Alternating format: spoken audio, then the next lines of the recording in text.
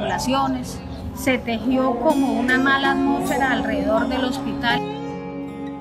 Viví muy de cerca el estado de los pacientes de COVID y ellos a veces tienen unas altas y otras bajas, tanto en su, en su estado de salud como en su estado anímico al sentirse aislados. Y estuvimos en contacto siempre, tanto con los médicos como con el paciente.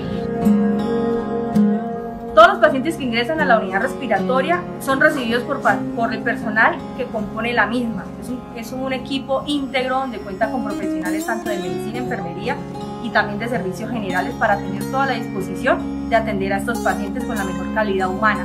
Un ejemplo claro es la señora Julia Elvira Pardo Cruz, una paciente de 82 años que a pesar de tener comorbilidades altas como su edad, es una paciente que supera la parte crítica del COVID y que hoy en día ya está en su casa para terminar su proceso de recuperación.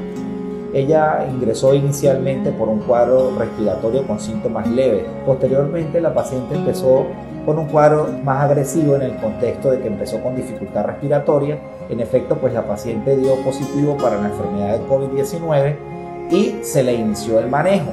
La paciente fue progresando una neumonía bastante complicada, meritando inclusive ventilación mecánica se le dio soporte ventilatorio por varios días con todo el tratamiento indicado, pudo tener una ventilación exitosa y pudo tener una extubación exitosa. En ese momento la paciente salió del cuadro severo que tenía.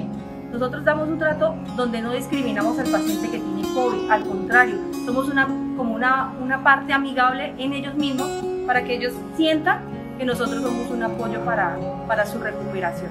Estamos felices porque hubo un milagro en el San Vicente. Primero porque Dios obró en él y segundo por la capacidad humana, profesional del personal médico y de enfermeras. Gracias a, Dios y al Hospital San Vicente.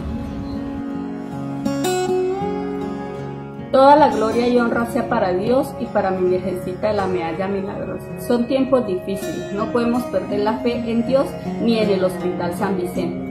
Gracias a un milagro de Dios y a la atención del Hospital San Vicente, los especialistas y todo el cuerpo asistencial, hoy tengo nuevamente a mi mamá a mi lado. Mil y mil gracias, Dios les bendiga.